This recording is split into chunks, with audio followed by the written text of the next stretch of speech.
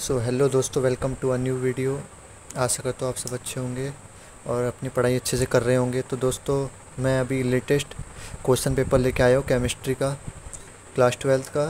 अभी 2023 अप्रैल का है ये। ये लेटेस्ट है, मैं अभी आपको इसकी सॉल्यूशन दिखाऊँगा ए टू जेड आप वीडियो में बने रहना प्लीज़ तभी आपको समझ आएगा कि मैं कैसे समझा रहा हूँ।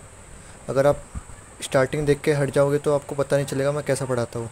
तो आप वीडियो के अंत तक बने रहना प्लीज़ ये केमिस्ट्री का है ट्वेल्थ क्लास का।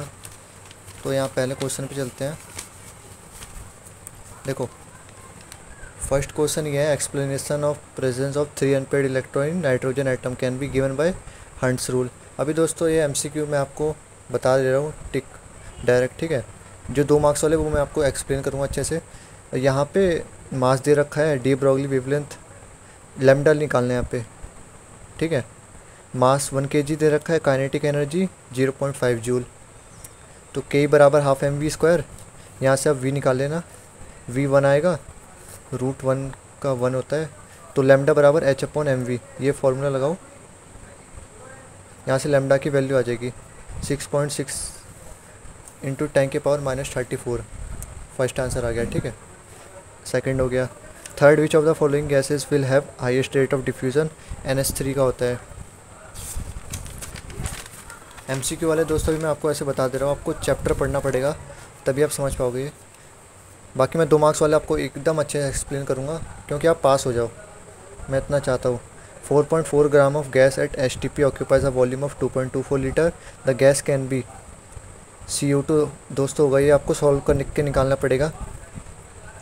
अभी आप इतना समझो, ठीक है?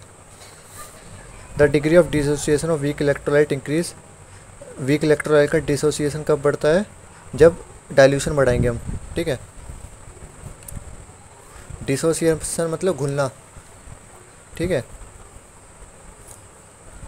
Which of the following statements true for an electrochemical cell form by combination of hydrogen electrode and copper electrode hydrogen anode पे होगा और कॉपर कैथोड पे होगा।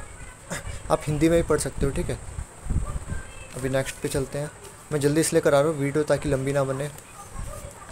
Which of the following carbon decompose at low temperature barium carbonate होगा, ठीक है दोस्तों?